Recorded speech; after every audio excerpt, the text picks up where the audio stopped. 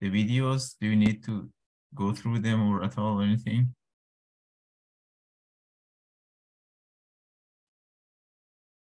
You haven't looked at the videos yet? Okay. No. Okay. So um, we talked about constrained motion or dependent motion. And we explained that what it means by an example of this, you know, cords and pulleys and, you know, weights. We're going to do this example here to see how it works. And we do one more example after this. Um, based on what I mentioned in the last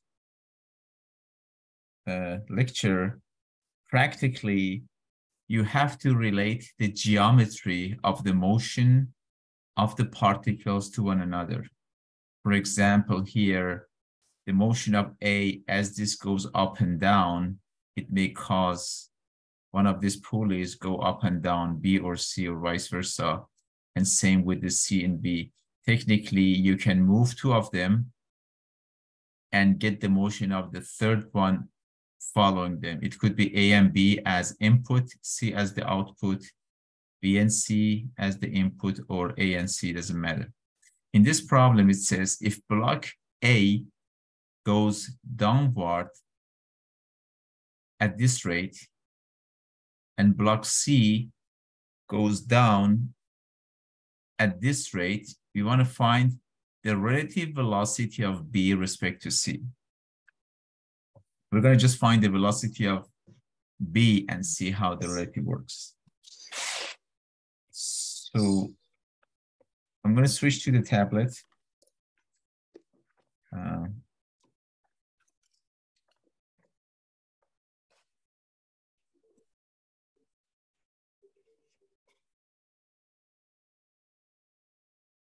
so is the definition of problem clear?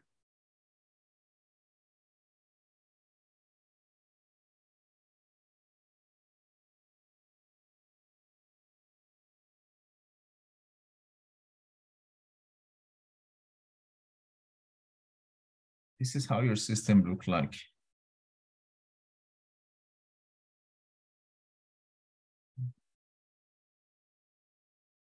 You have the weight A goes here around this pulley.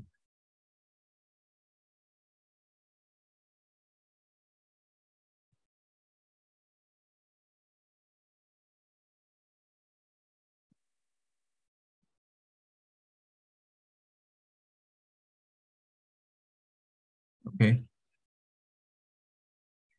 So VA is six feet per second. Is it positive or negative? Oh, negative? Negative. How did you determine it's negative? Uh, because it's going downward. It's going downward. Do you remember how we talked about or how we define the sign for these velocities?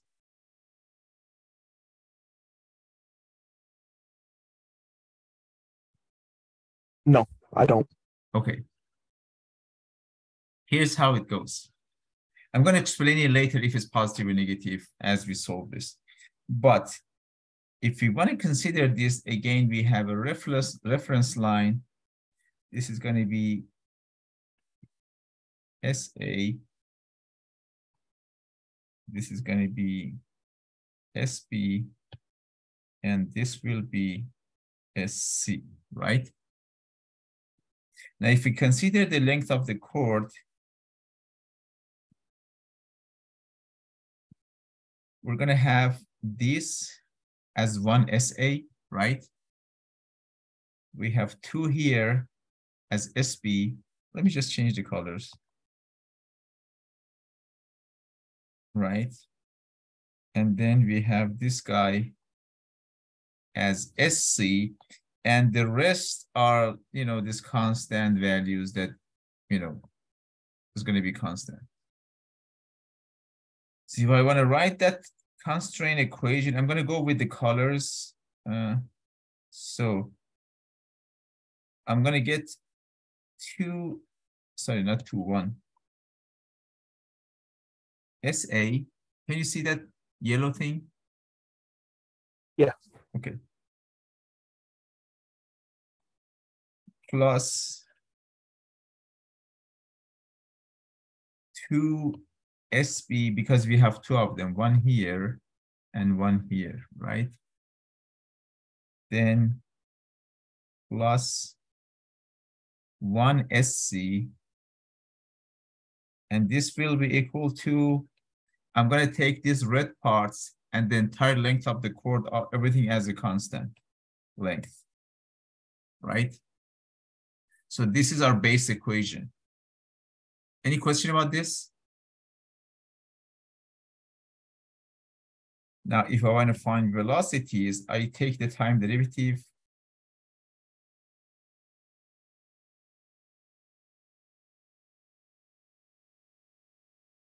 You're going to get VA plus 2 VB plus VC equals zero. Now, coming back to the question about if these guys are positive or negative.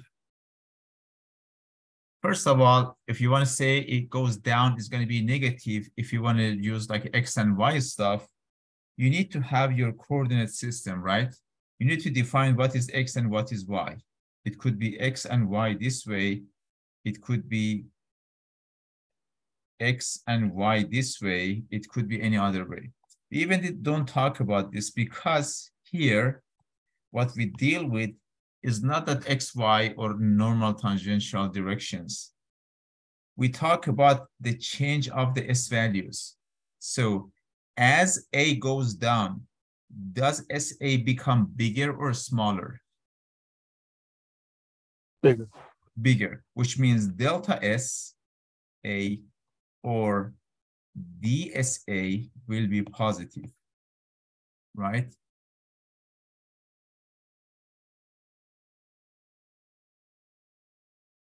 And obviously, if it goes up, SA becomes smaller, delta SA becomes negative. So if it goes down, DSA is positive, therefore this is positive. Same thing with SB and SC. So for all of them, going down is positive, going up is negative. Does that make sense? Yes. Remember, we deal with geometry, not coordinate system.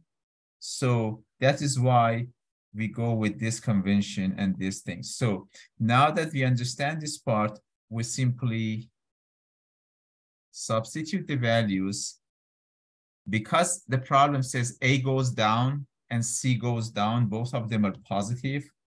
So you're gonna get six plus 2VB plus 18 equals zero. And obviously VB is minus 12 feet per second. Now, how we interpret minus in terms of direction of motion for B? Upward.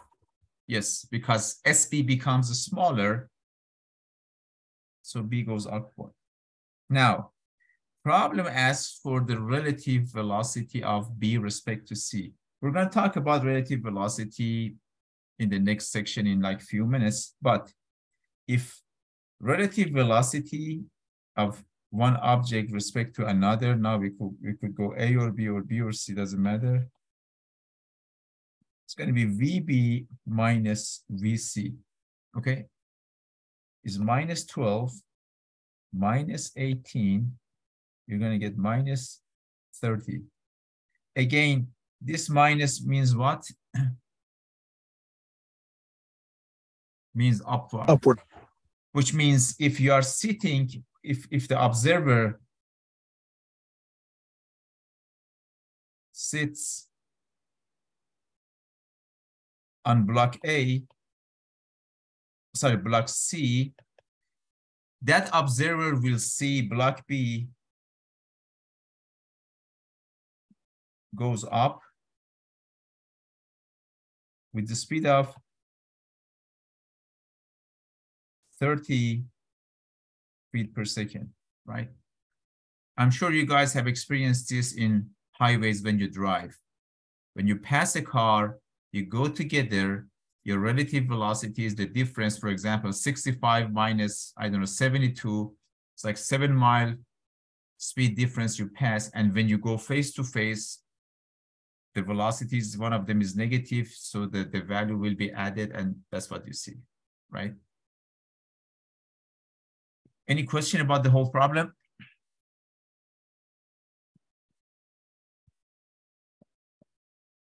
Okay, let's go back to the slides and do one more example.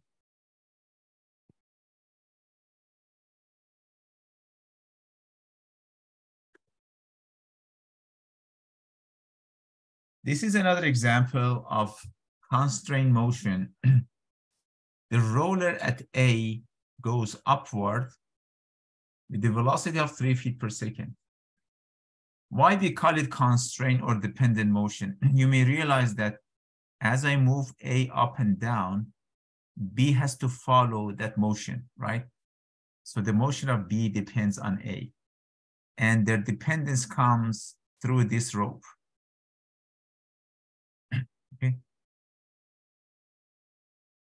So it gives the velocity and acceleration for A and wants to find the velocity and acceleration for B.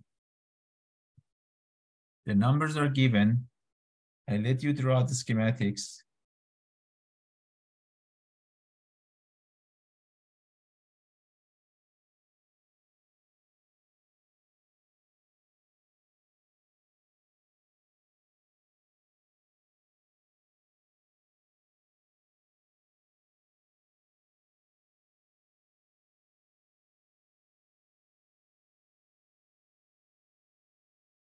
So how we solve this problem?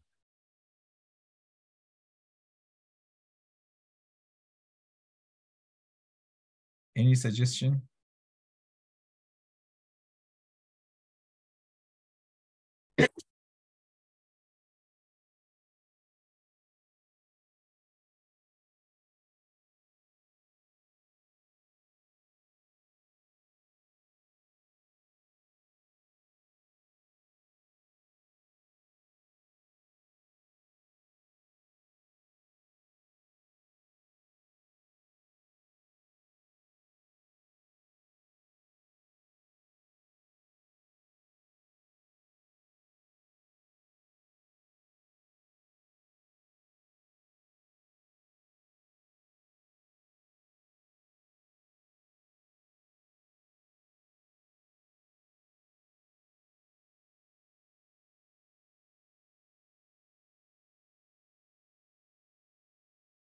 Guys can share your thought process. As I mentioned before, it doesn't have to be perfectly correct. It just shows, you know, how you think about this, and that's okay.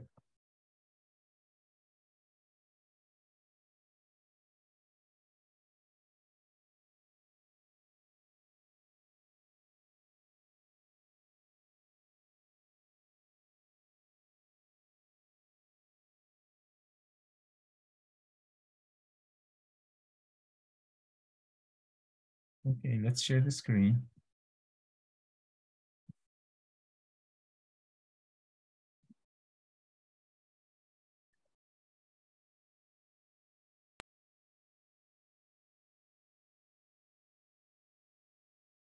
So this is how the problem looked like, right?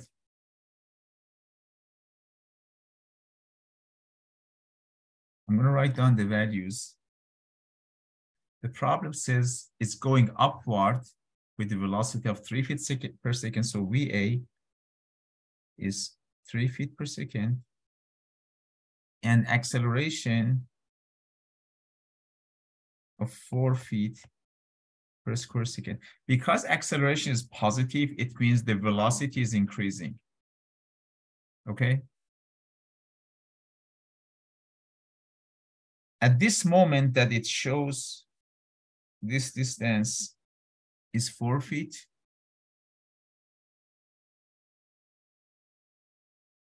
And the distance from center of this pulley to the wall is three feet.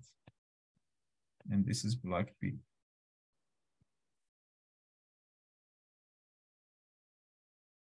I'm gonna ask the question again and I want you guys to give me answer, okay? So what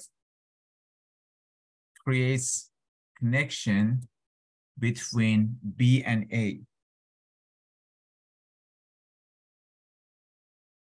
Uh, the go ahead. the pulley that the cables ran through. The cable technically and the pulley. Pulley redirects the, so the cable. How much is the length of the cable? Uh, Let's call it L, okay? Length of cable L. And let's consider the position of B from here as SB, right? I could go from wall, but doesn't matter from wall or no wall because this part is constant, right? So I'm going to consider the position of B from here. Or maybe, let's just make it simpler. Here. Okay?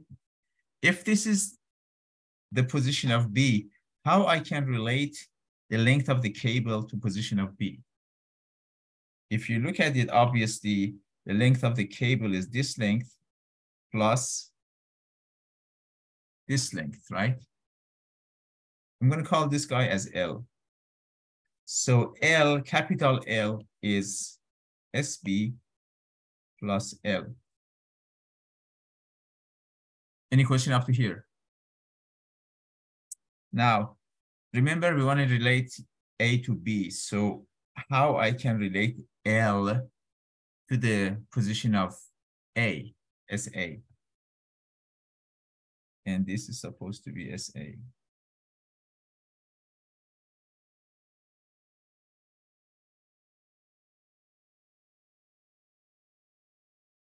Hmm? How I can replace this L with something SA. Um, three feet squared plus SA squared, and then uh square root of that, or Yeah, okay, equals L squared. So SB is technically, let's call this as D0, right? I prefer to put parameters so we can substitute the numbers. Square root of SA square plus D0 square, right? So this is the equation. And of course, this is equal to capital L. This is the equation that relates SA, SB, and the length of the cable. Remember, D0 is a fixed length, so D0 is constant, right? Now, if I want to find velocities, to find velocity,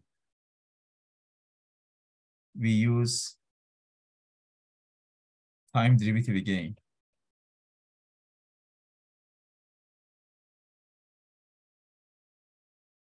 So uh, for SA, we're going to get ds SB dt plus d dt of the square root of SA square plus d0 square equals d dt of L, which is constant, right?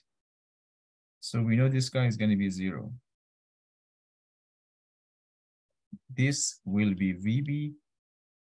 Do you guys remember the, the derivative of this?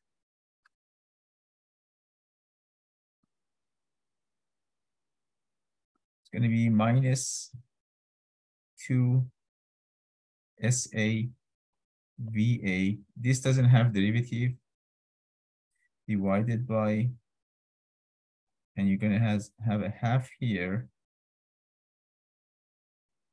square root of Is this correct?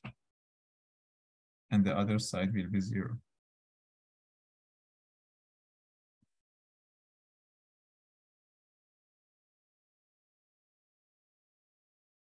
I think we don't have the minus.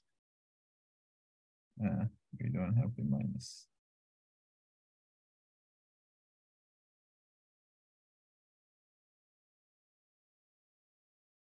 So technically, because S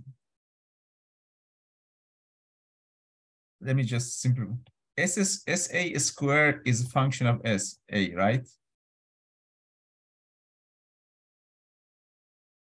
So its derivative, so technically dsa square dt, again, we can write dsa square dsa plus dsa dt, sorry, plus times, right?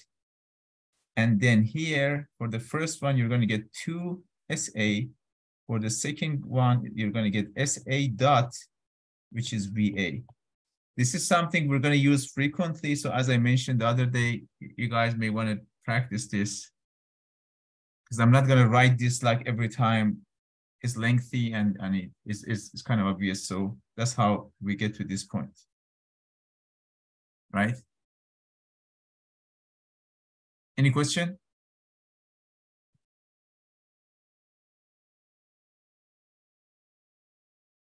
So if we do this, then your VB oops, is simply these two cancels, these two minus SA VA over square root of SA square plus D0 square. We know at the position that it tells us SA is four feet and D0 is constant three feet and VA was how much? Three feet per second. So if I substitute these numbers, I'm going to get VB as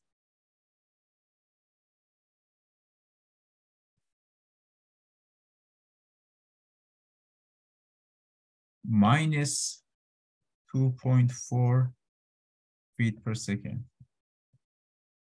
How we interpret the minus sign?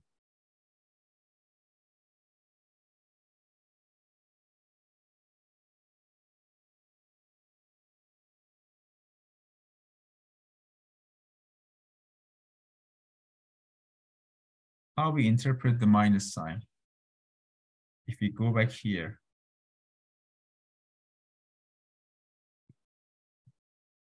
to the right. Exactly. You may see that as particle A or roller A goes up, B has to go to the right, which means SB becomes smaller, right? Which means its velocity is negative. Now, if I had like x and y coordinate system, velocity of v would have been positive y, velocity of a, velocity of v would have been positive x, but this is not x and y. We are dealing with geometry. We want to see how SB changes. I'm going to repeat this one more time so you guys um, know that this is not based on the uh, positive, negative XY stuff. It's based on the change of the value of SB and SA or whatever else you have. Make sense? Now, for acceleration, this is the equation we had, right? The equation for velocity was VB plus SA VA divided by SA square plus D0 square equals zero. For acceleration, we're gonna get the time derivative. Okay. And I want you guys to do this as a bonus problem. Okay. So acceleration part will be bonus problem.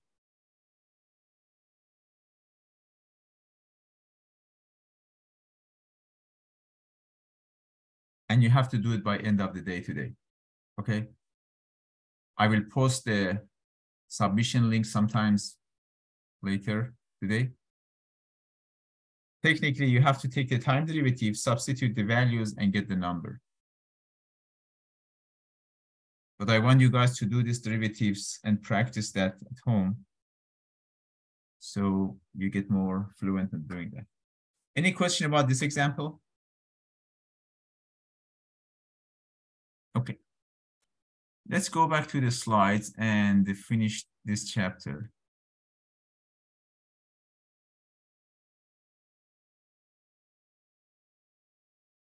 The last part of the, the chapter is relative motion. In some cases, which could be a lot of cases actually, when you analyze the motion of a particles, you are not standing on a fixed coordinate system and you're observing that from a moving coordinate system. So technically, your coordinate system moves with, with, with, with its own velocity and acceleration. So what you read there is not accurate, right? It's not absolute, let's not call it accurate. It's not the absolute motion. Here we learn how to relate absolute motion to the relative motion. If you look at here, I want you guys to just pay attention to this slide. This is a fixed coordinate system, someone standing here. This is a moving coordinate system with, with its own path of motion, particle A or person A. And this is the particle of interest moving on path B. Now, from perspective of the fixed observer, this is the position vector that he sees. So technically, if we take the time derivative of RB, we're going to get the absolute velocity VB. And if you do it one more time, you're going to get the absolute acceleration AB. But from the perspective of this guy, this is the vector he sees. So what he sees as velocity is not the time derivative of RB, is the time derivative of RB respect to A and the second derivative for acceleration. An example of this could be, I always give this example. You are sitting in an airplane, you know, flying in the air with five, 600 kilometer an hour, right? and you see the flight attendants moving through the aisle, I don't know, giving glass of water to someone or giving lunch or dinner or something. When you sit at your chair, at your seat, you don't feel your own motion, right? You see the person walking in the aisle, for example, with three miles an hour speed. Is the actual speed of that guy three miles an hour? If someone is on the ground, how they see that person? That person moves with the airplane with 600, I don't know, kilometer an hour, and then walking with another few meter per second, right? So that's the actual velocity, but you don't see that five, 600 kilometer an hour because you are moving with that. This is how relative motion works. Is this example clear to everyone? Right? So Another example, you are in a city bus, you know, bus moves in the streets and someone walks in the aisle. From your perspective, that person that walks again has like regular walking speed, which could be like three miles an hour. But if someone is standing on the side of the road, they see that guy walking and the whole bus is moving with, I don't know, 30 mile an hour, right? So the overall speed from the perspective of someone standing and that someone standing is this guy. You are sitting in a bus are this guy, and this is the person walking. So it's important to get the absolute motion. Now, if you look at this coordinate system, this is the fixed coordinate system. This is the moving coordinate system. This is the position vector for moving coordinate system, RA. This is the position vector for the particle of interest and RB respect to A, that's how we call it, RB respect to A, is the position vector of B with respect to person sitting on A. So this is the relative position. How we can relate these three vectors together? Simply, we can add them as vectors, right? You may see that RA plus RB respect to A is going to be RB. Do you remember this vector addition?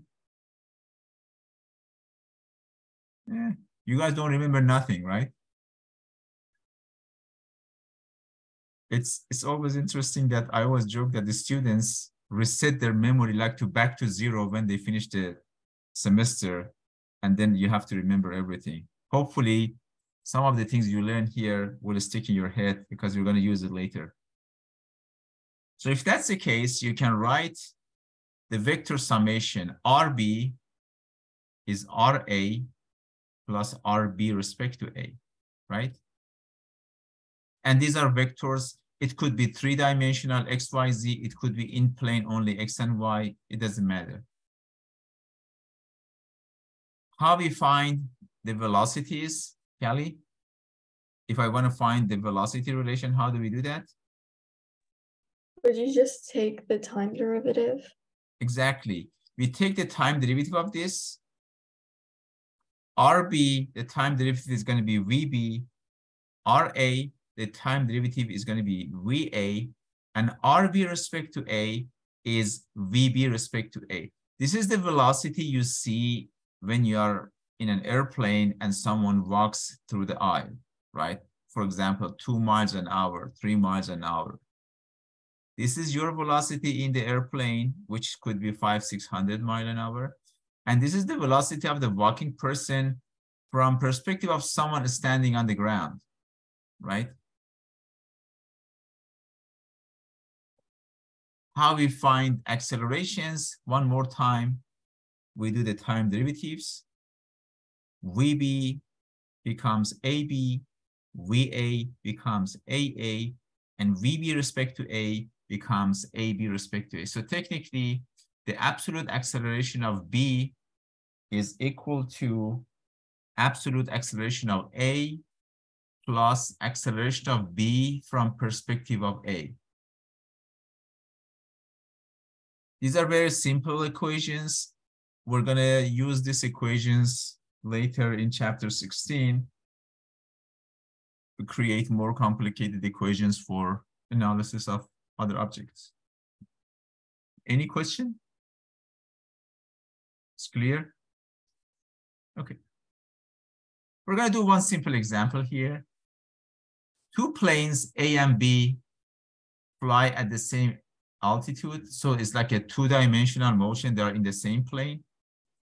Their velocities for A is 600 mile an hour going with this direction.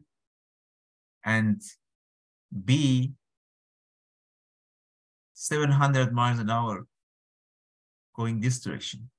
Sorry, kilometer an hour. The angle between the path of motion of the two planes is 35 degree. We want to find the relative velocity of plane B respect to A. And this is like an action movie that planes coming to collide. They don't have to be close to one another, obviously. They may not reach this point at the same time, right? This may pass and that may pass. So that's, just want to remind you, it's not necessarily bringing the collision, but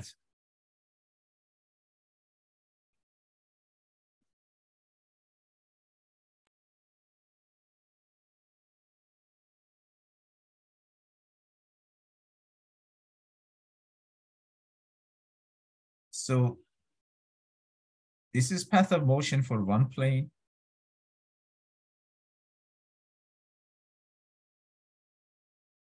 This is path of motion for another plane, right?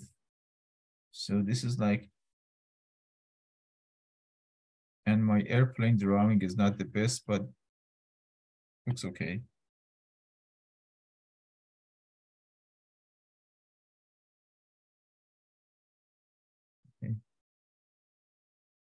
This is A, this is B, this is 35. The magnitude of velocities are given as VA 600 kilometer per hour VB 700 kilometer per hour. And we are looking for VB respect to A magnitude. Well, the equation was easy, right? VB as a vector is VA plus VB respect to A, right? If I want to do that, I'm going to draw the vectors. I'm going to use the same color for each of them.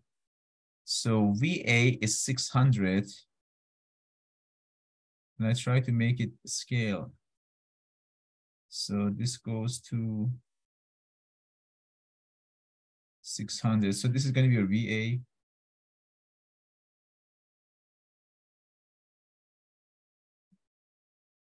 This is my origin that I add the vectors point O. And VB goes to the left. I may have to move this a little bit.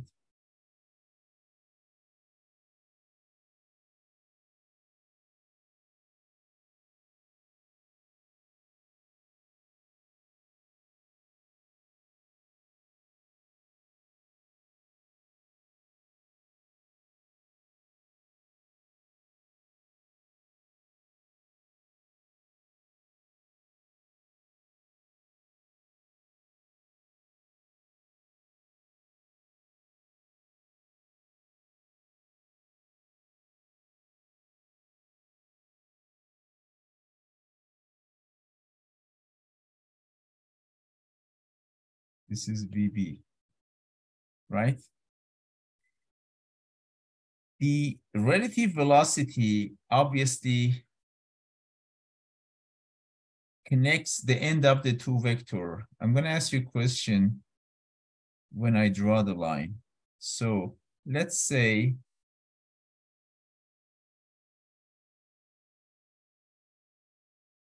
and this is not as accurate, but should be okay. This is going to be VB respect to A. The question is, is it going to go this way or this way, to the left or right?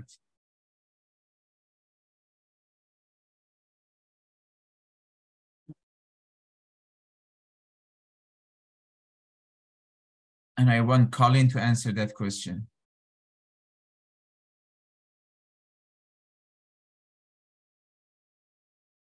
Would it be going to the left because B has a higher velocity?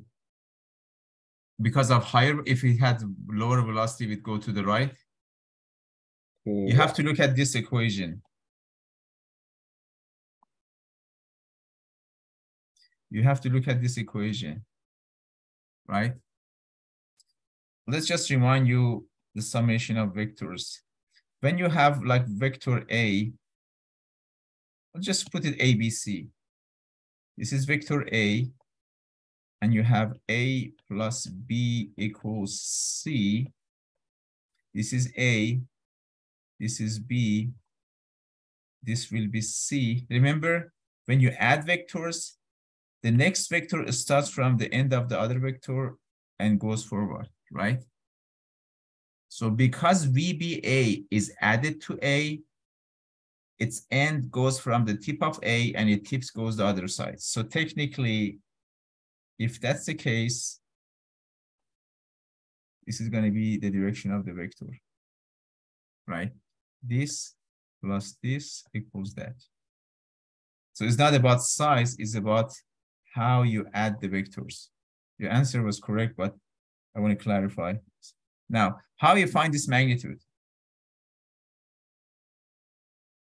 Hmm? If this angle is 35, oops. If this is 35, this angle is going to be how much? 145, right? Now, how do you, how we find the value of VBA? It's like a triangle, you find the side having the other two sides an angle, right? So VBA, the magnitude is going to be square root of VA square plus VB square plus 2VB VA cosine theta. Now, I'm going to put plus minus. You guys tell me, should this be plus or minus?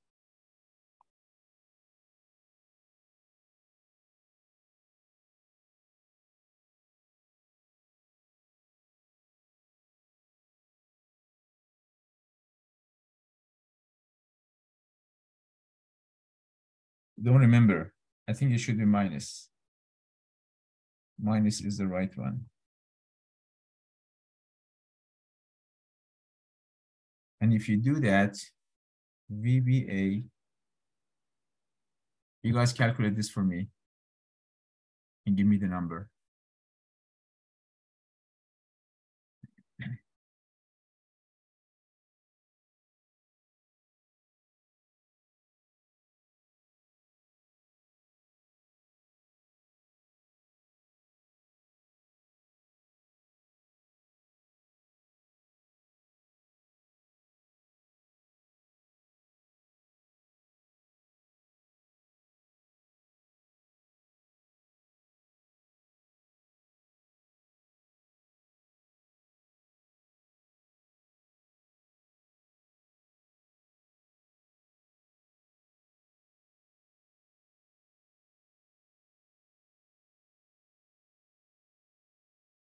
I think you should get something like 12, 40.2 Mhm. kilometer per hour. Right? Yeah. That's how you do it. Any, any question about this? Sorry. I think.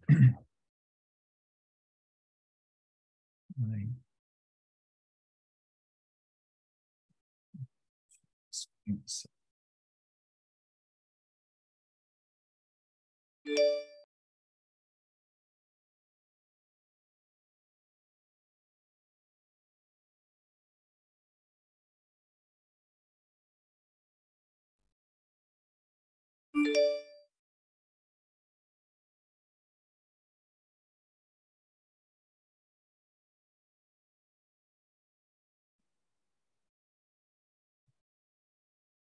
Any question?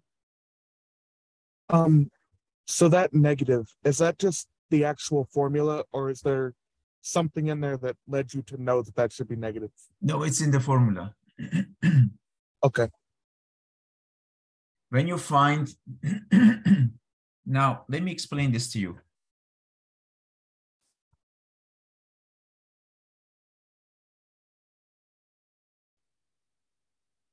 if you have two vectors this is like a and this is b and you want to add them together do you remember how you find the addition and let's say this angle is theta to find the addition we would use kind of like a parallelogram drive a line parallel to B, drawing a line parallel to A.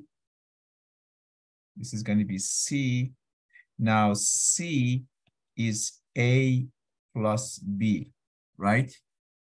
If you want to find the magnitude of C, C is going to be a square root of A squared plus B squared, excuse me, plus 2AB cosine theta, and this is your theta right? When you have a triangle,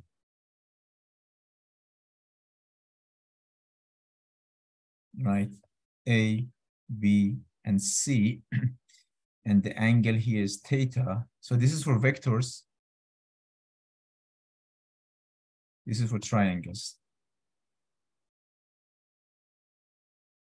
Okay.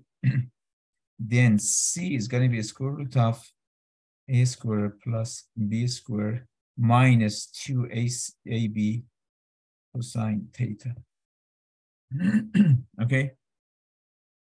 In this Okay. case, we literally have a triangle. You have two sides, the angle between them, and you want to find the third side. So that's why we went with this equation.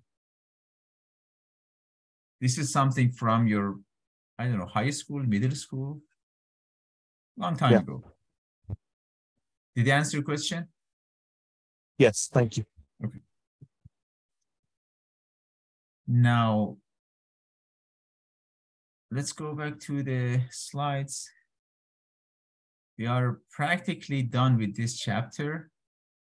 Um, I'm going to give you three minutes of break so we you can kind of refresh your memory and then we start the new chapter. Okay? So we're going to be back at 10:50 and then we're going to start chapter 13.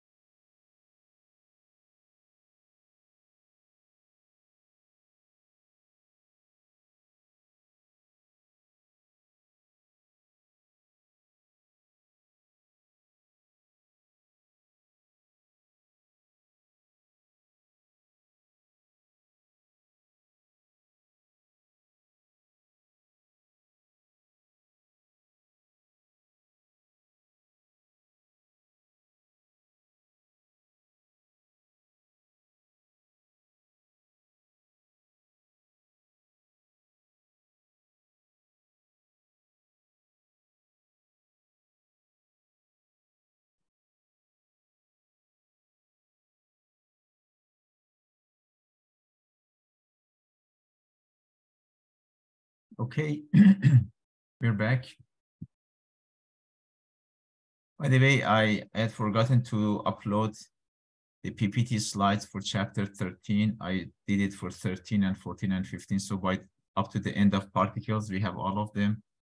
I don't know if you guys print it or just save it and look at it on your screen, but it's there. I also created a link for submission of the bonus problem for today. The deadline is today midnight, so just make sure you do it before it's done. And now let's go back to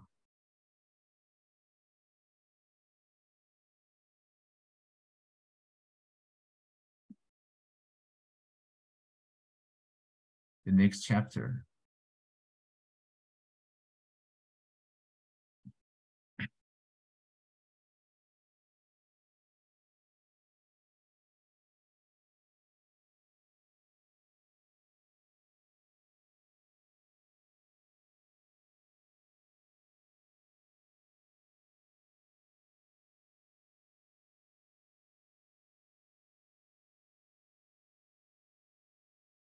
So in chapter 12, we talked about the motion of a particle. We started from the simplest motion geometry, which was a straight line, excuse me. then we talked about curvilinear motion. We used three different coordinate systems and we analyzed the motion. We never said why the motion happens, right? particle moves with this velocity on this path and you know with this position as a function of time or x or y and z and we did the derivatives and found velocity acceleration. In this chapter we're going to talk about what causes the motion. Actually in the next three chapters we talk about the cause of motion. First we talk about newton's second law. I'm going to briefly explain three of them here because you know the, the, fundamentals from your physics. Then we talk about work and energy method, and then we talked about impulse and momentum. Each of them would approach solving a problem from different perspective, and each of them will be suitable for particular type of problem as we see later. Okay, so this chapter is about Newton's second law we're going to learn, of course, review the Newton's laws of motion. We talk about major forces that acting on particles that will include friction, elastic force. Remember, anytime you apply a force to a particle, you push it, you pull it, you force it to the left and right, we call all of them as external forces.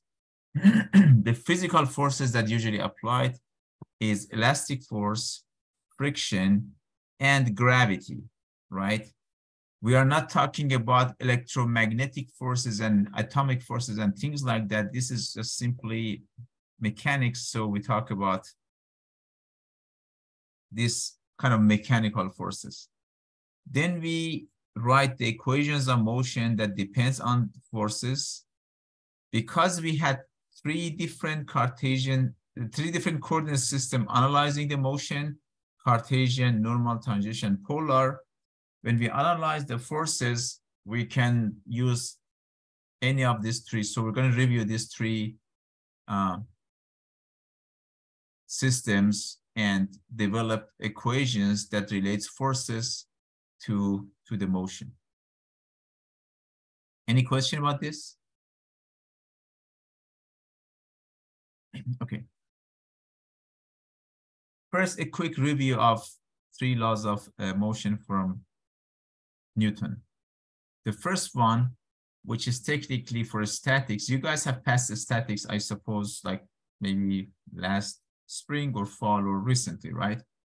So the first law talks about if there's no external forces acting on a particle, it will maintain its velocity, right? Or the way that it expressed by Newton, the velocity of particle can only change if you apply force. If there's no force or the summation of forces acting on a particle is zero, then it's going to be static. Either it doesn't move or moves on a straight line with constant velocity. The second law talks about creating acceleration. The summation of all forces acting on a particle is proportional to the acceleration of the particle, right? And we write it with this like summation of forces is equal to mass times acceleration. Remember, force is a vector, acceleration is a vector, mass is a scalar. So technically you have a vector equation. Because you have a vector, you can divide it into different components, x, y, z, normal, tangential, polar, or whatever. The third law says for any action or for any force, there's a reaction which is the same magnitude but in opposite direction. You have seen the first and third and used it frequently in statics, right? And second one, you know it from your even high school. You guys covered this in high school, right? Okay, so this is just basic. We also talk about briefly Newton's law of gravitational attraction. It expressed that any two object which has a mass, right, will create or will we have an attractive force between them because of Newton's third law, the force M1 acts on 2 and M2 acts on M1 are going to be opposite and equal, you know, action reaction. And the force comes from this equation. It's proportional to the masses, inversely proportional to the distance square, and you can create an equal function using this G turning proportionality to equality. And G is a constant, is a universal physical constant, constant of gravitation, which is this much. Technically, if you consider M1 as mass of Earth and R as the radius of Earth and G is which is constant, if you put mass of Earth, radius of Earth and G here, and this is the mass of a person, this will be the weight. So technically M1 R squared G all together, if this is mass of Earth and radius of Earth, this all is going to be 9.81, the gravitational constant. We're not going to talk about, by the way, there's a section in this chapter that talks about, you know, satellites and motions like that, that uses this. I usually do not cover it. So we're not going to cover that part. It's just the particles. That's more for like aerospace stuff. And we don't get time to finish it, so we're not going to cover that part. Now, the forces acting on a particle when you have dynamics, even statics same, but for statics, acceleration is zero, obviously. When you have a dynamics problem, there are different forces that acting on a particle. One type is, as we call it, external. Remember, every force is external. Nothing happens inside the particle, right? But we separate all the pushing and pulling and stuff like that as external force, right? Then we have reaction forces, which is also external force. Then we have friction force that we briefly talk about it. You know what friction means, resistance to the motion between the two surfaces. Then we have gravity, which is also external force, but because it specifically is like mg mass times gravitational constant, we separate it. And we have elastic force that comes from springs. Again, all of them are external forces, but these three, bottom three, you have some equations for them. Reaction forces comes from Newton's third law, and everything else goes as external force. Any question about this classification? Good, okay.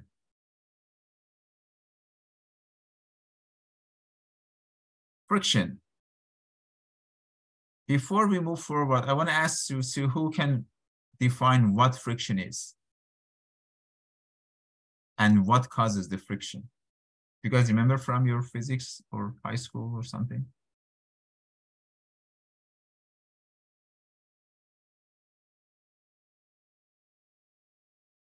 What causes friction?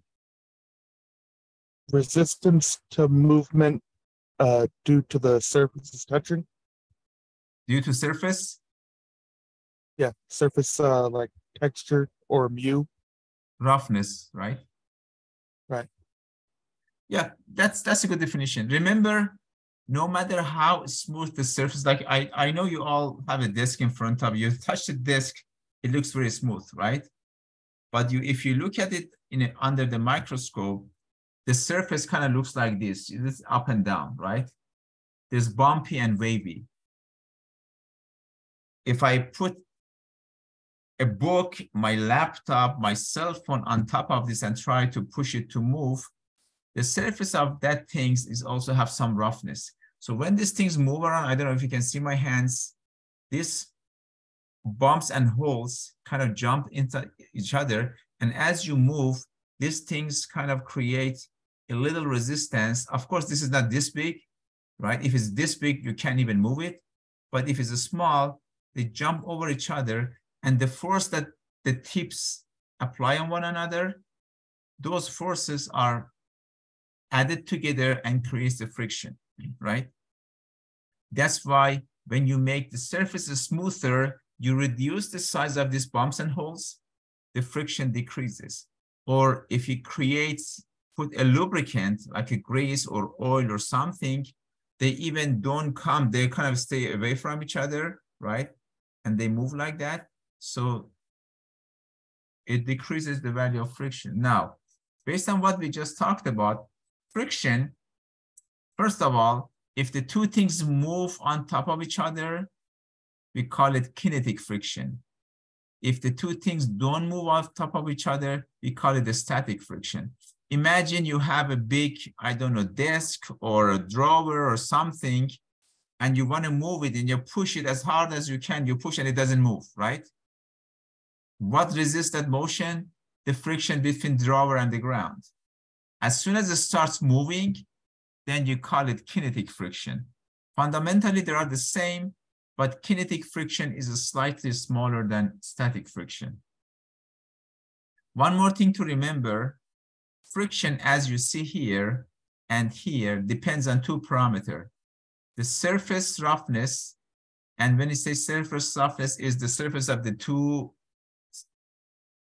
you know, objects on top, touching each other on top of one another. And the other one is normal force, right? As you, why normal force increases the friction? Because these bumps and holes get more engaged and it's harder to move, right? You, up, you apply the normal force, you put them more inside one another and it's harder to move. I'm sure you remember this from your physics. So for kinetic friction, the equation is the same, mu, which is a friction constant or friction coefficient times normal force. For static friction, we use mu s, but there's a little trick here. How much is, if I ask you, let's put it this way. You have a big drawer and you want to push it. I am not very strong and the most force I can apply is maybe like 50 Newton. I push the drawer by 50 Newton. How much is the friction force? Does the thing move or no? How much is the value? I push the drawer by 50 Newton and it doesn't move. How much is the friction force? Uh, 50 newtons. 50 Newtons, right? Because they balance each other. Now, for example, Ricardo comes and he's stronger than me. He pushes the drawer by 100 Newton and is not moving. How much is the friction force then? 100 newtons. 100 Newtons. Now, we ask Aaron to come and help us. Three of us forced together and you reach like 300 Newton. And finally, the drawer start moving. How much is the friction force then? Less than 300 newtons.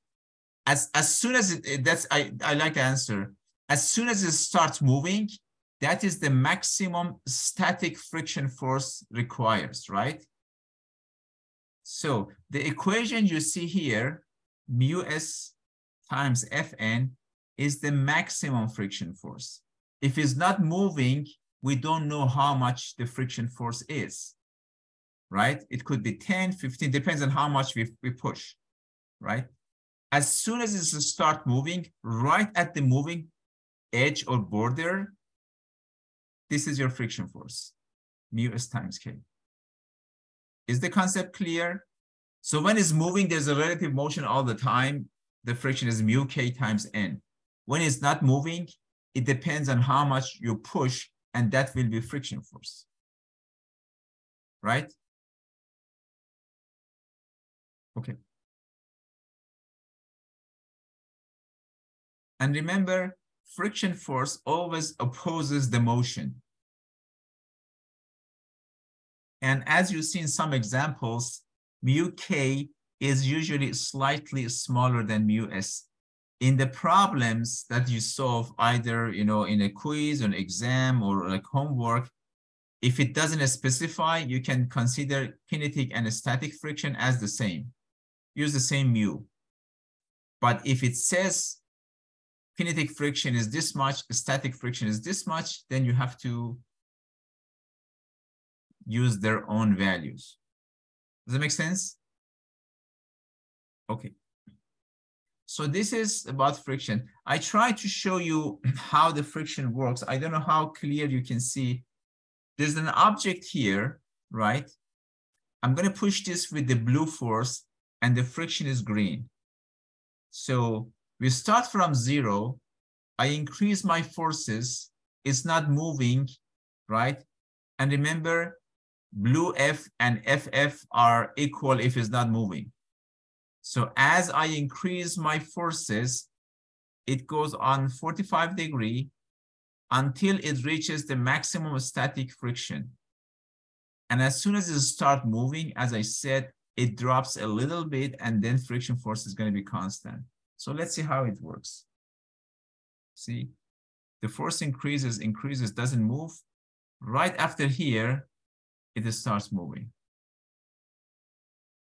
Right? One more time. Equal, blue and green are equal. And then the friction is going to be constant. This is the maximum static friction force. And this is the kinetic friction force. And then you see this force doesn't increase anymore. I hope, did you, could you guys see the animation? Yes. Okay, so that's how it works. Now, again, note that mu is because people sometimes make, students sometimes make mistake. Static friction, they put this number. This is the maximum, right? And remember, maximum static friction is usually bigger than kinetic friction. Sometimes we neglect the difference. Sometimes we don't. That is what, let me ask you a question. You guys all drive cars, right? You know your cars has this ABS system in the friction, in, in the brake. Do you know what ABS means? Anti-lock braking system. Why, why we have it? To uh keep the tires static as they brake instead of sliding across it. Practically, what you try to do with ABS, because you see, the if the if the tire locks, then it's going to slide on the surface of the road, right? It's going to be kinetic friction. But when it rolls, it's a static friction. So you try to keep your friction in this range so you create a larger forcing at uh, braking forces, right? You never want to lock the tires to come down to this level. If you need really large forces to stop, you want to stay up to here. In tires, technically, it's not a straight line, a straight line. It's kind of like a curve going here and goes down. So you want to keep it at the peak of that curve. And that's uh, what ABS controller does, right? Try to keep it on the top the highest magnitude of friction force you can have. So maximizes your braking force. Another mechanical force that we deal with very frequently is the force of a spring. Hopefully you guys remember from your physics or back from high school maybe, that when you compress or stretch a spring, the force is proportional to number uh, to the magnitude of the formation, right? This X shows the amount of the formation of the spring, either compressed becomes smaller or stretches becomes larger, and K is stiffness constant or spring constant. So practically, the force of a spring linearly changes with its deformation. So as you push and it stretches, the spring force becomes linearly bigger.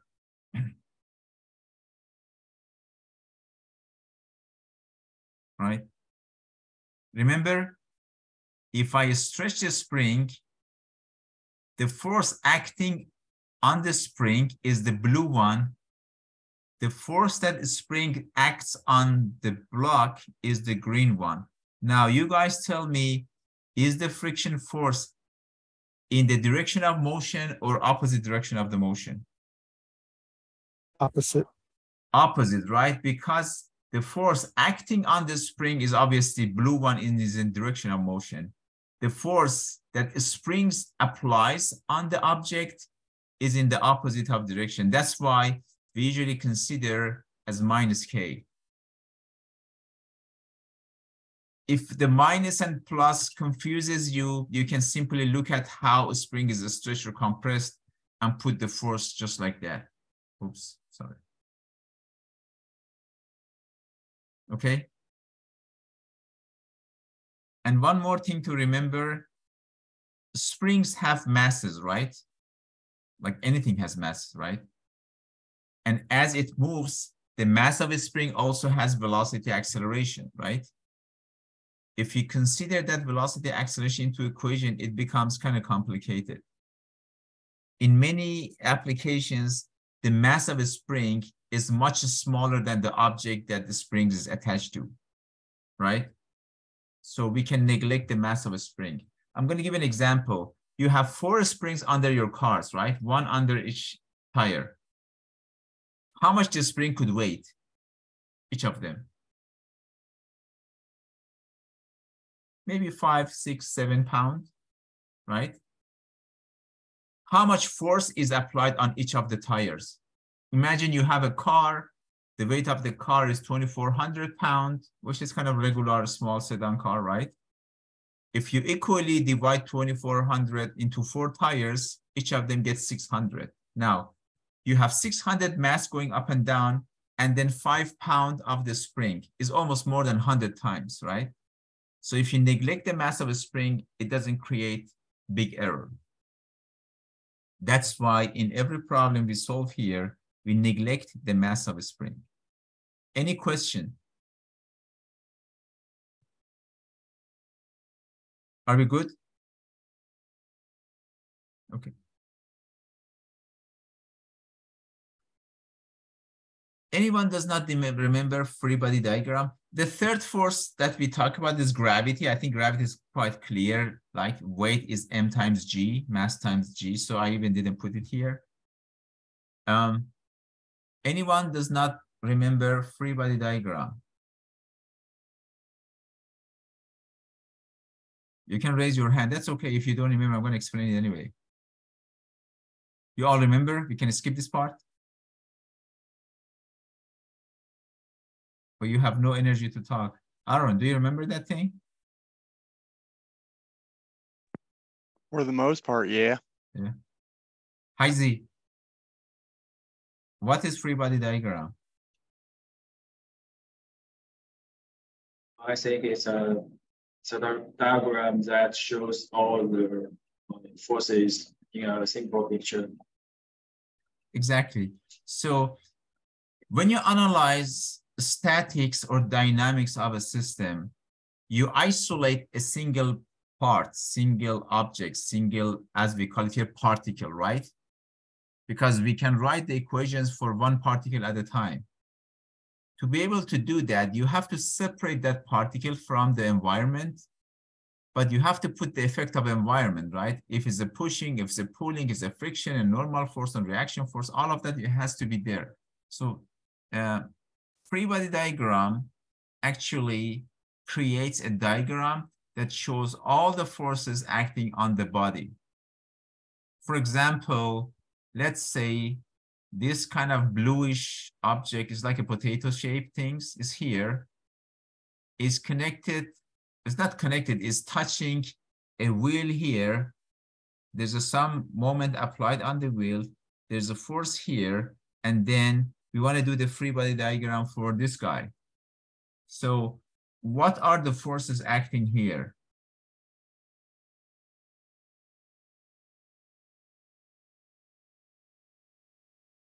One of the forces, obviously, this external force F, right? I can put it here. What else?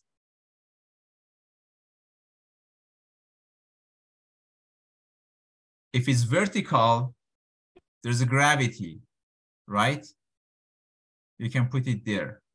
At the contact of this wheel with this blue stuff, there's a normal force between them, right? If the surface is not smooth, there's also friction force. Now I'm going to ask you this question.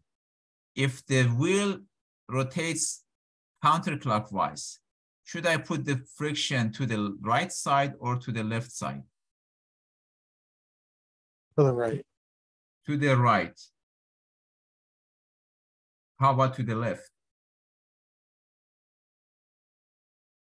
Remember, if you look at the wheel, if the wheel rotates this way, it tries to push the potato shaped guy to the left side, right? Yeah. Can you visualize it? So the friction that the wheel applies on the blue object is from right to left. The reaction of that, that potato applies to the wheel is going to be from right to left. you may have to practice this. It may require little visualization, but you cannot get the friction wrong. you remember in the statics, if you cannot determine the direction of a force, you can assume positive or negative as you solve it. If your number is positive, your direction was right. If your number was negative, your direction has to be the other way, right? You can do that with some of the forces, but not the friction. Friction has to be correct. So if the wheel rotates this way, you see at this contact point, at this contact point, if the wheel rotates, tries to pull this blue object to the left, right? And that is the friction force that you can see here. Try to pull it to the left. Any question? Is it clear? We may have to practice, you know, a couple of times, but that's how you do it. You have to understand how the two surfaces, imagine you see, I don't know if you can see my hands. If goes like this, right? The friction applied to the upper hand is this way. The friction that upper hand applied, you see, if my upper hand moves my lower hand, it's going to go this way, right? You see, I'm going to yes. put it down and push it this way. So technically, the force that pushes my lower hand this way is the friction. So the friction has to be this way. That's how you do it. What else we have here? We have a pin here. So we're going to have reaction forces here. I don't know which direction. I can just go Rx, Ry, positive, negative, doesn't matter. As I said, when you solve the problem, if one of this number turned to be negative, that means the force had to be other way. And of course, if this is in a vertical plane, you're going to have the friction force. Uh, sorry, the, the gravitational force mg going down. This is the free body diagram for this guy. I got the interactions here. I got the interactions here. The interaction of this object with, with gravity, with Earth is gravity. I put it here, an external force. Anything else left to add?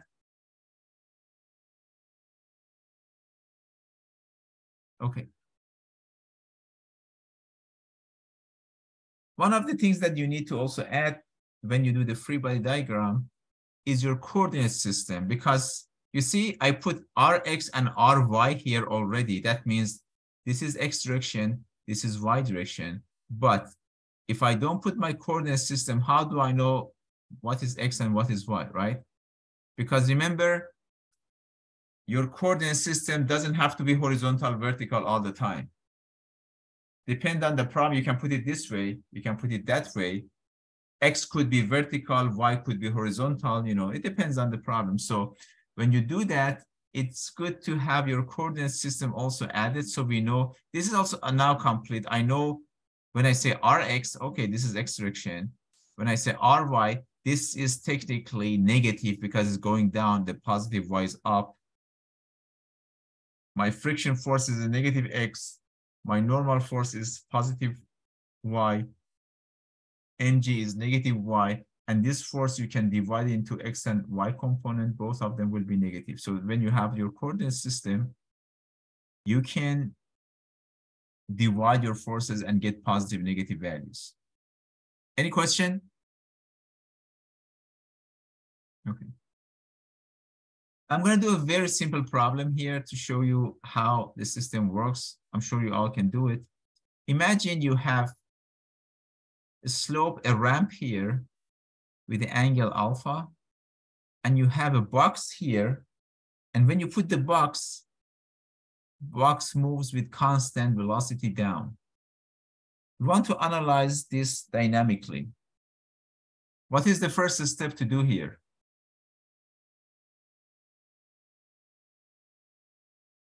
Andrew, if I want to solve this, what is the first step?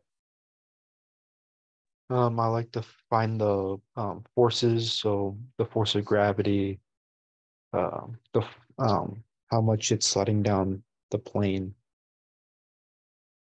and just have it all set up, and then um, Setting up the forces, we just called it something like a few seconds ago. What is called?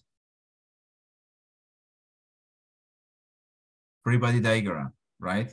So remember, always the first step is free body diagram. I'm going to put this guy here. I'm going to have the force of gravity. What else? Friction. Friction. When this goes down, friction is to the bottom right or the top left? Top left. Top left because it opposes the motion. And also we have the normal force between the two surfaces. So this is the free, this is the free body diagram. Is it complete now? Anything missing? Nothing missing. Cristobal, anything missing here? Coordinates, Yes, coordinate system. Should I put X and Y horizontal and vertical or another way?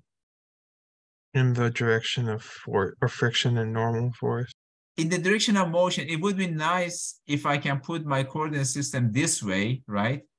So the motion is in X direction and nothing moves in Y direction. So now it's complete. If I want to write the equations of motion, in X direction, I have friction force. Technically, this should be negative. This should be positive. You see, mg, I can divide it into x and y. The x component is going to be mg sine alpha. The y component is going to be mg cosine alpha. And if you solve these things, now, how much is friction force? Is it a static or kinetic friction? Kinetic. Kinetic because it's moving. So I can put mu n, sorry, mu k times normal force and if you solve that, you get your mu k equals tan. You know what? I, I give you guys like two minutes to solve this problem. Write it down. Substitute friction force with mu k times n and find the value of alpha.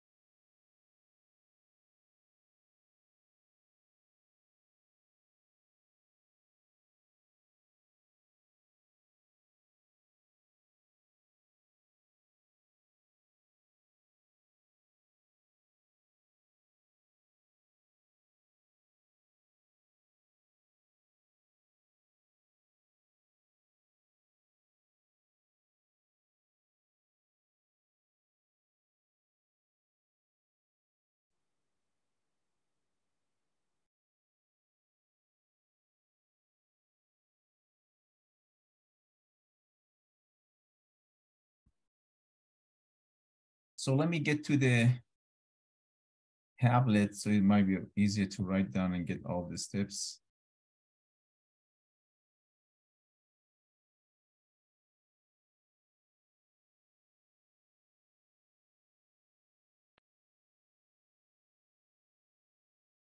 So this is the free body diagram, right? I divided my gravitational force. Let me replace it with the red so I can move this down. Right, this is mg. This is the x component of mg. This is the y component of mg. If this is alpha, this is also alpha. So in x direction, summation of forces are zero. So you can write simply mg sine alpha, which is positive, minus friction force equals zero. And in y direction, fn, which is positive, minus mg cosine alpha equals zero. So from here, you're going to get fn is mg cosine alpha. And from equation one, you're going to get friction force, which is mu k times fn equals mg sine alpha or mu k is mg sine alpha divided by fn. You're going to put this guy here.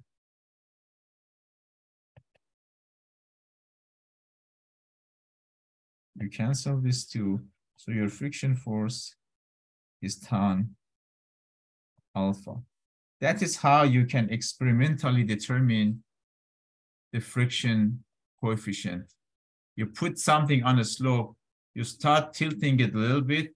Because static friction is slightly bigger than kinetic friction, you tap it a little bit, so it jumps. As soon as it start moving, you measure that angle and you can get mu k, right? So this was very simple, no acceleration. So just to show you how things work. Any question?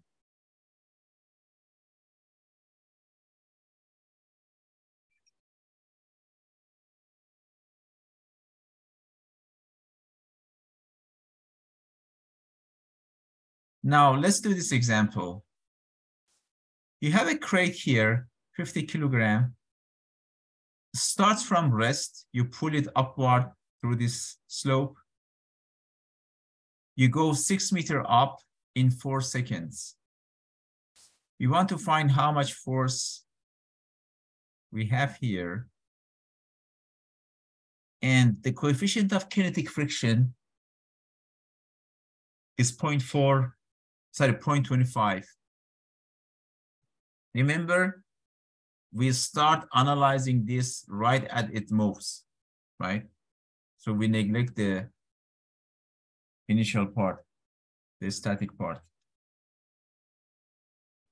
I give you a few seconds to write this down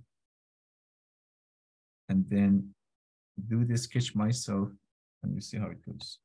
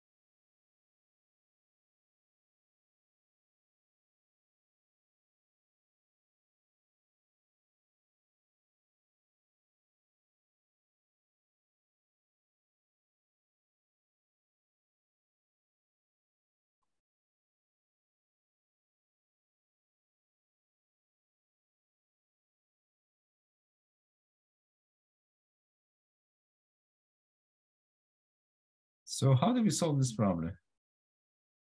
What is the first step? Free body diagram. Exactly, free body diagram.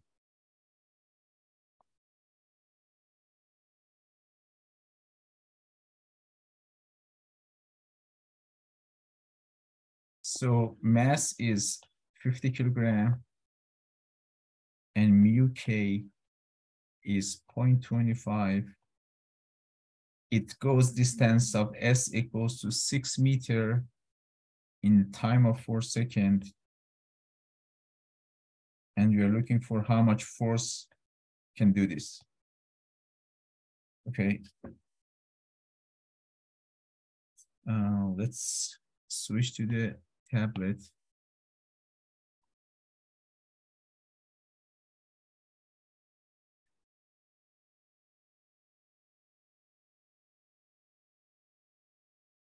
So this is a problem, right?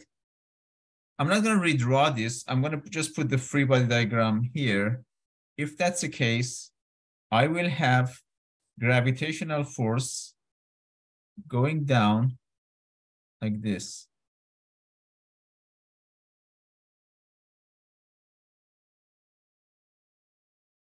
Right? What else I have? Force of friction going force down. of friction goes down. So I'm gonna have force of friction going this way.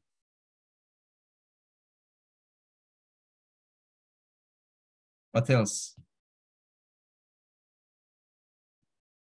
Normal force going up or out. I Normal force perpendicular to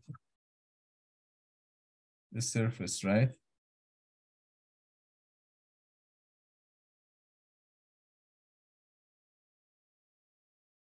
What else?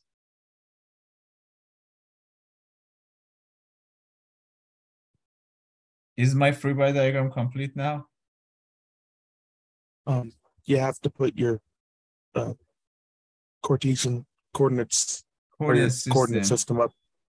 Um, I'm gonna go this system, obviously, this, this looks easier because it goes with the direction of motion, right?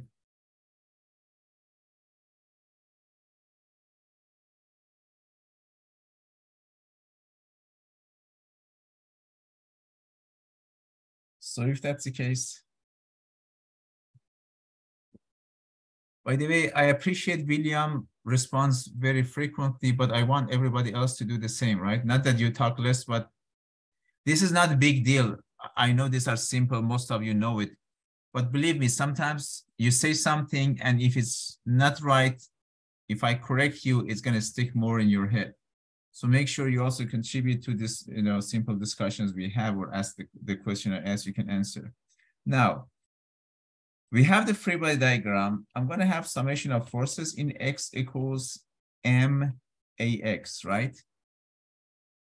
And summation of forces in y equals what? m ay. How much is ax and ay?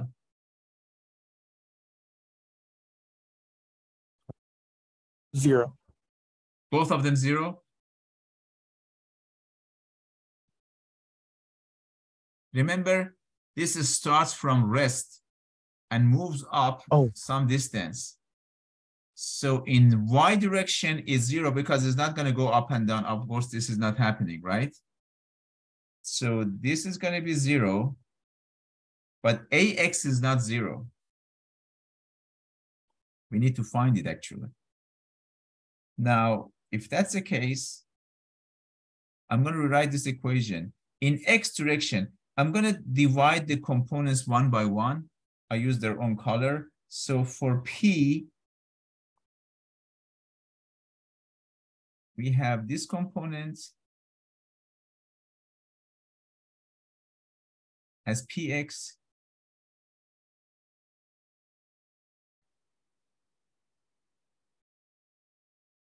And we have this component as py, right?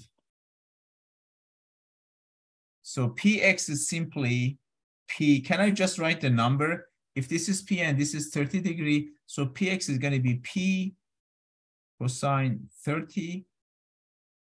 Then I have the gravitational force again in x and y direction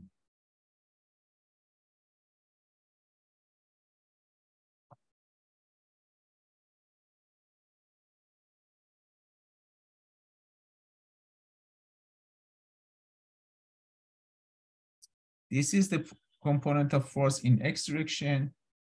So I'm going to use this their own color. When I write the equation, I use the own color so you can follow.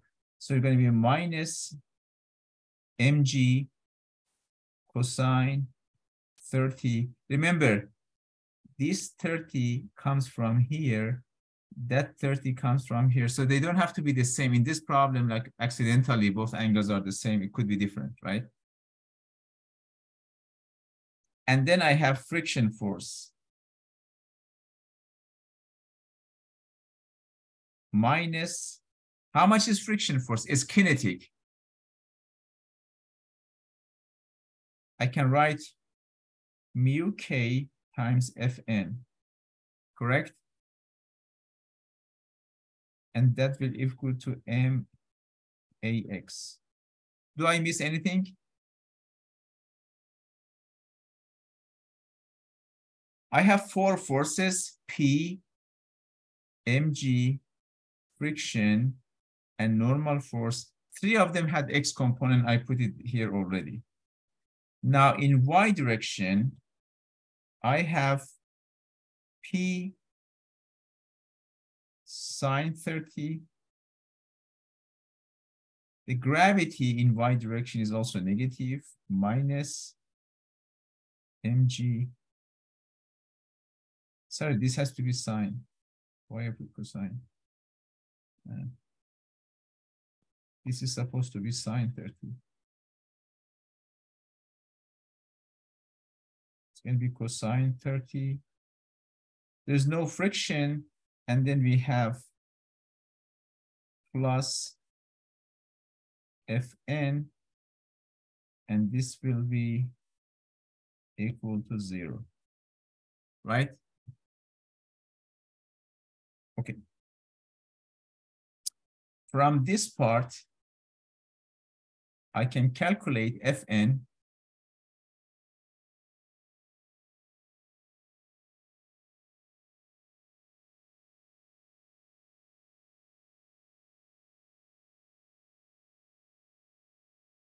and then substitute in the top equation. So this is equation, let's call it equation one and equation two. This was equation two. Now I'm going to write equation one.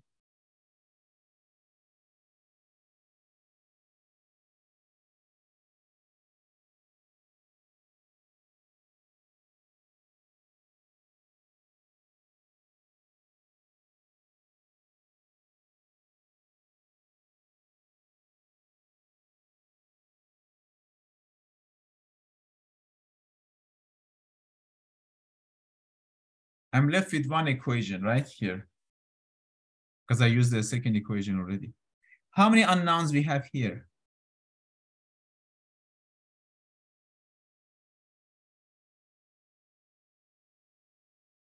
P is something I don't know.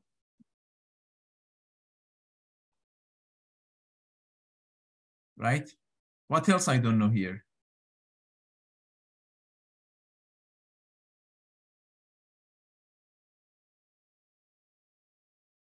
Do I know AX?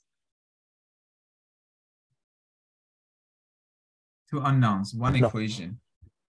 How I solve this? I need one more equation.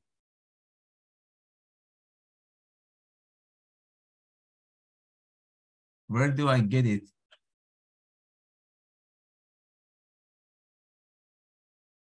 I want you guys to pay attention to this part.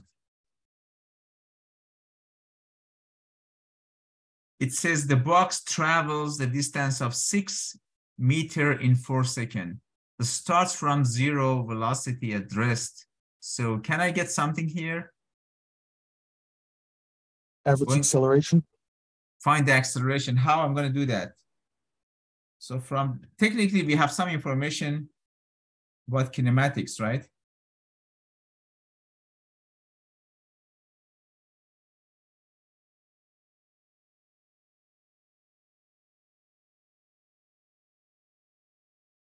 S is going to be what?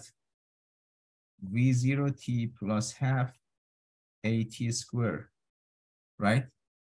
And then this is zero. So technically your AX is gonna be Q SX by T square.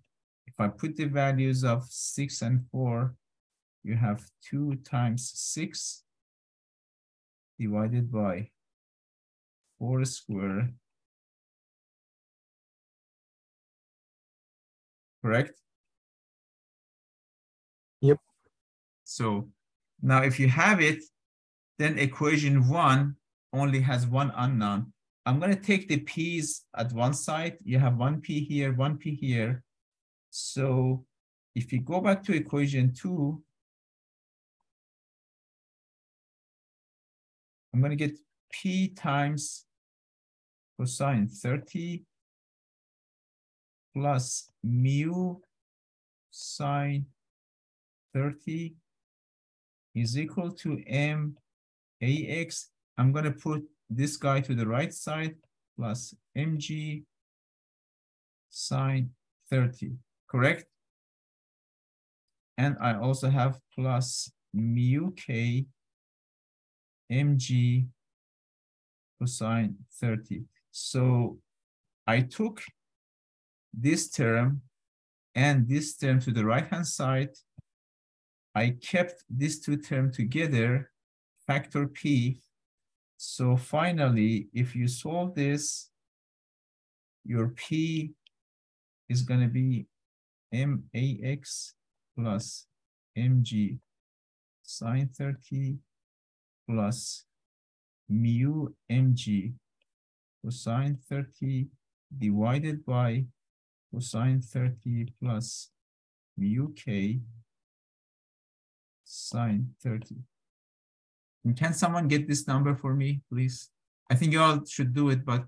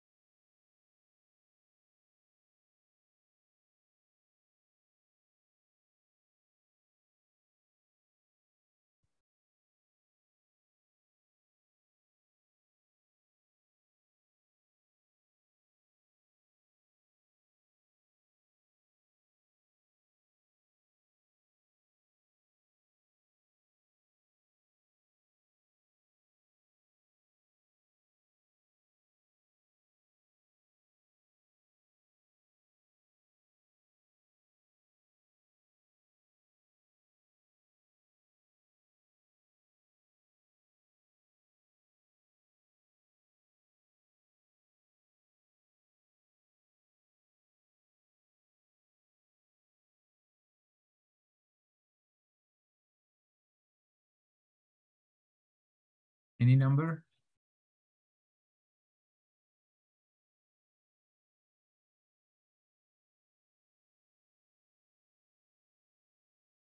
Six hundred and fifty-three point six, 600 Newton?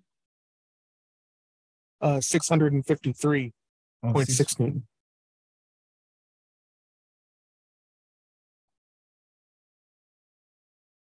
You guys get the same number?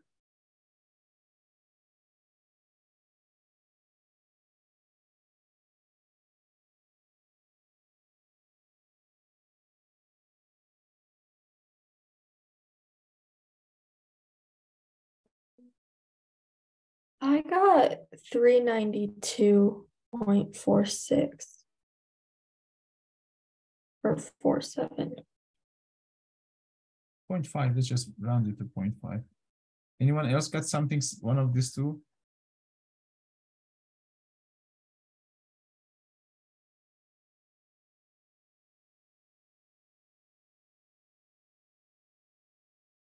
Jake, did you get anything? We have two Jake here.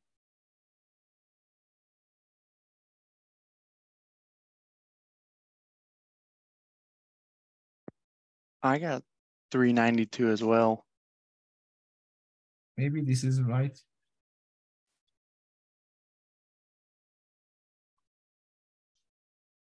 We get one more 392 and then we're going to establish that one.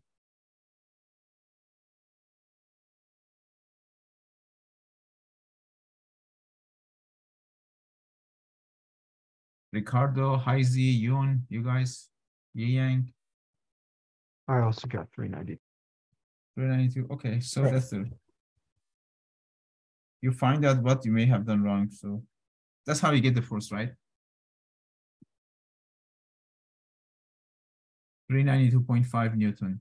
If you have a force of this much, you're gonna have acceleration of 0.75 that we got here, and it you in in four seconds, you can take the whole thing up by six meter. Right? Any question about this?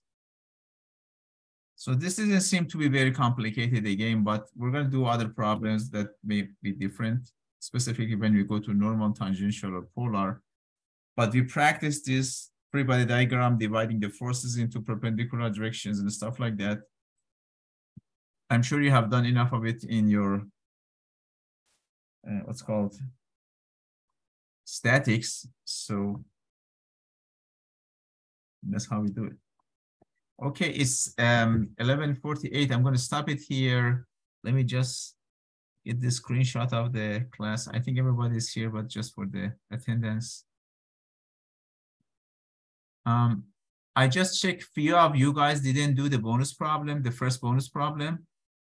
I don't know what the reason is, but I highly recommend you guys to spend this few minutes and do them because as we move forward, that could come very handy in your final grade. It could change your grade by one letter. Remember, if you get enough of that, we, I may add up to 5% for the bonus, 5 6% for the bonus, and 5% extra could easily change your grade from C to B, B to A, or whatever else. So I highly recommend you to do that. The other thing is we have a due date for homework tonight. And on Wednesday, we have a quiz. The quiz will pop up right at 10 a.m. So when you open your Blackboard, I'll probably open a new folder for tests if it's not already there. The quiz pop up right at 10. I give you whatever time I haven't designed it. Let's say like 15 minutes, right? If the solution time is 15 minutes, you get five minutes extra to scan your solution and post it online. After that, up to five minutes, I accept late submission with penalties like 10% per minute or something. And after that, I will not accept submissions, okay? Please do not use that five minutes of submission for your solution.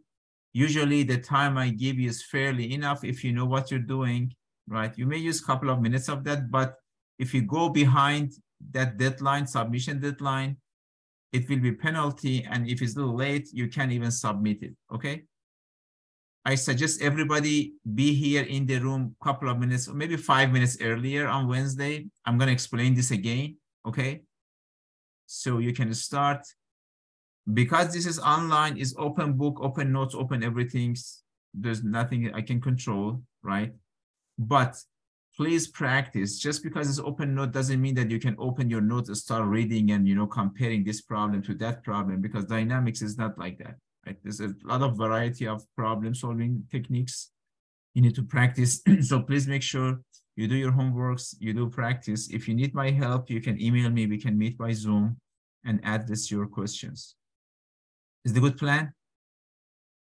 Okay, thank you all. And I see you on Wednesday, maybe 9.55 or something, okay?